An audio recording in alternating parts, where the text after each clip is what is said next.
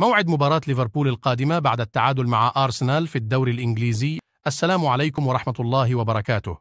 نبدأ بالصلاة والسلام على رسول الله صلى الله عليه وسلم.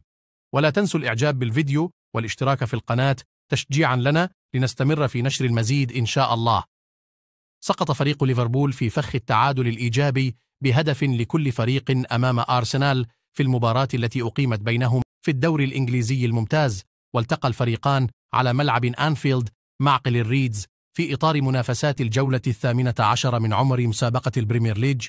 سجل هدف أرسنال المدافع البرازيلي جابرييل في الدقيقة الرابعة.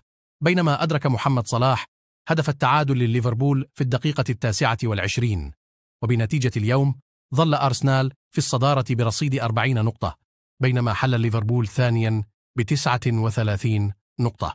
موعد مباراة ليفربول القادمة في الدوري الإنجليزي ومن المقرر أن يلتقي ليفربول في المباراة القادمة مع بيرنلي يوم الثلاثاء المقبل السادس والعشرين من الشهر الجاري في إطار منافسات الجولة التاسعة عشر من الدوري الإنجليزي الممتاز.